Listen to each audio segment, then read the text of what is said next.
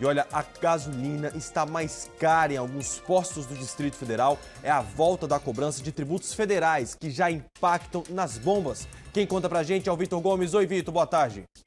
Oi, Mobili, boa tarde para você e a todos que nos acompanham. Pois é, pode preparar o bolso porque os tributos federais realmente voltaram, né? Aí, principalmente, né, o ICMS sobre o combustível. Havia expectativa dele voltar apenas no dia primeiro, ou seja, amanhã, mas a medida provisória não foi votada a tempo, então já caiu ontem mesmo. Então, quem foi procurar abastecer ontem já viu ali o aumento de preço, que estava em 5,39 e à noite já era possível encontrar ali por 5,63 o preço da gasolina, mais ou menos. Nesse posto aqui que nós estamos, no SIG, o preço da gasolina está em 5,57 o litro. Mas, dando uma volta aí pelo Distrito Federal, há uma certa variação. Como eu disse, postos vendendo a gasolina a 5,63. Existem outros também, como na Asa Norte, por exemplo,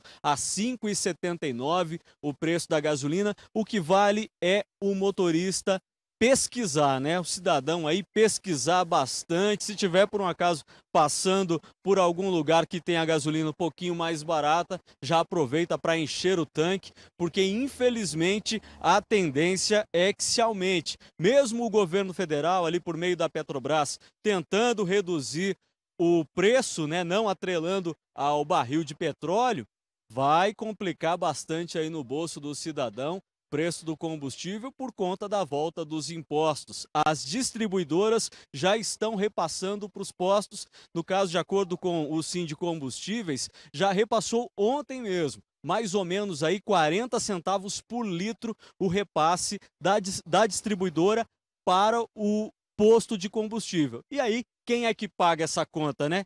Para a conta fechar, eu e você, você que está assistindo aí, nós que consumimos é que pagamos. Eu volto contigo aí, Mobile. E pagamos caro, Vitão. Obrigado pelas informações. E ó,